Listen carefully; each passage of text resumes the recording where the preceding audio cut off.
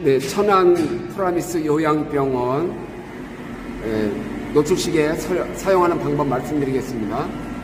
네, 지금 현재 시간이 위성 시간 1시를 가리키고 있습니다. 그 다음에 밖의 시간이 11시 가리키고 있는데요. 조종하는 방법은 예, 일단 전원을 올려주시고 요거를 멈춤에다 놓으신 다음에 바깥의 시간을 보신 다음에 입력하시면 됩니다.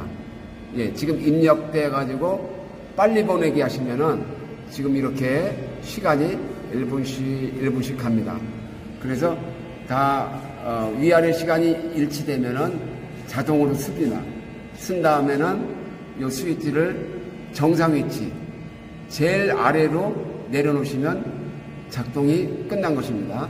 그 다음에 조명은 여기 지금 4번이라고 되어 있죠. 4번을 누르시면 일몰 점등, 일출 소등 이렇게 되어 있죠.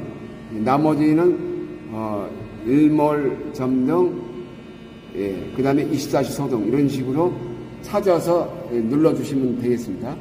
네, 시간이 안 맞을 때는 요거를 어, 5초 동안 누르시면은 이게 숫자가 깜빡깜빡합니다. 그러면 그때 예, 이동을 하시거나 그 숫자를 올렸다 내렸다 해서 조정하시면 됩니다. 네, 조정이 끝나시면 한번 눌러주시면 끝나겠습니다. 네, 이상입니다.